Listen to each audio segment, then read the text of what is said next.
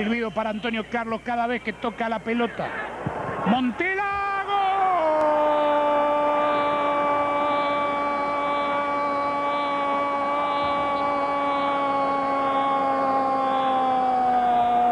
¡Gol! Montela de media vuelta le picó mal al arquero Ricardo.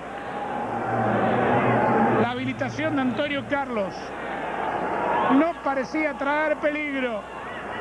Se desmarca bien Montela y Ricardo que queda trabado en el piso. Es muy buena la de Montela. Pero viene al palo del arquero y al cuerpo del golero. Se la comió totalmente ahí el portero Ricardo.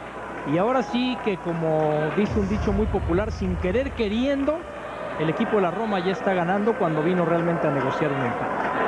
¿Qué fue? Primer remate al arco. Do